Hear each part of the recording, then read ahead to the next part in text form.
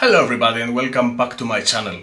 Today we are going to work on a short algorithm where we are given with two strings and we need to determine whether the first string is a subsequence of the second string. That sounds interesting to me. Hope you enjoy the video guys. Let's move to the board.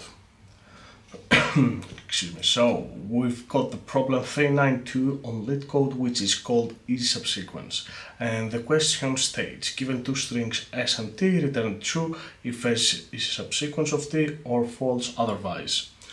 Sweet, I've got two test cases here for you. And uh, we can see quickly that the first one, let me grab the pen, the first one returns true because we can see that A, B and C are part of the string T and at the same time they are in the correct order. So that means that S is a subsequence of T. Cool. And uh, here we've got the test case number two where we have that string and we need to determine if it is a subsequence of the string T and if we go letter by letter we can see A is present however when we move to X there is no X here so S is not a subsequence of T. Sweet. Uh, something that I need to mention here is if we have the string A CB that wouldn't be a subsequence of the string T because we can we don't have A, C, and B in the string T in the correct order. We have only A, B, C. Sweet.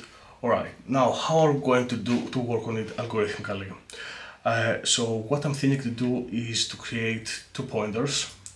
The first pointer, let me go down here, and I'm going to rewrite for you this example. So we have A, B, C, and A, H, B, G, D, and C. Alright, let's change the color from here. Let's go for orange. Okay, so we have one pointer per string. So here is going to be the pointer S and here is going to be the pointer T. Alright, and of course we are going to loop over the longer string, which is the string t.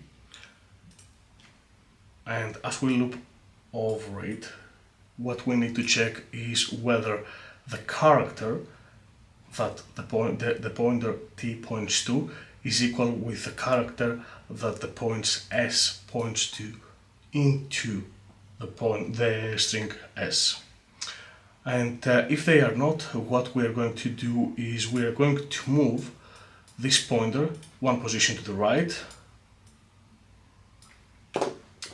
And of course, if they are not, again, one position to the right, etc, etc. However, if you see in that example, uh, the both characters of these strings uh, in the position 0 are equal. So that means that we can move this pointer one position to the right and the same time this pointer one position to the right. And here when we do our comparison we can see that these two characters are not equal so I'm going just to move the pointer t one position to the right and right now we've got a match. So what we can do is move both pointers one position to the right, like this one, here no match, one position to the right,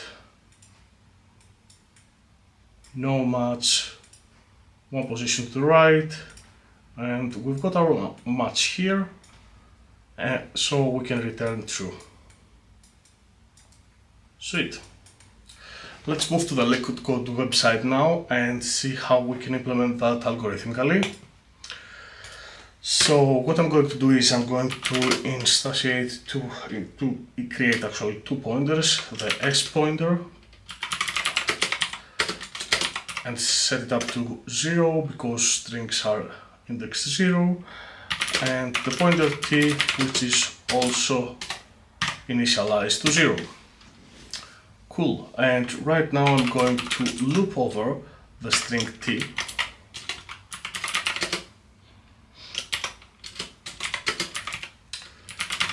So like that. And at the same time we need to have another condition here in order to avoid having that in the loop where this pointer will not go out of bound of the string s. Super. So now we need to check if we've got, if we've got a character by character match. So if the s of s pointer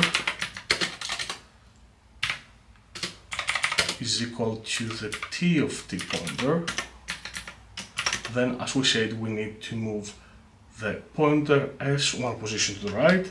That means that we need to do s pointer plus plus, just increment it. Uh, yeah, and otherwise, there's no otherwise actually. Every time we need to move the pointer t one position to the right, so I'm just doing that right now. And what we are going to return here is the, the condition s pointer is triple equal s dot length. So as you can understand, I have set up a condition where we check if the pointer s has actually reached the end of the string s. Because if that happens, that means that the string s is a subsequence of the string t. Super, let's run this code.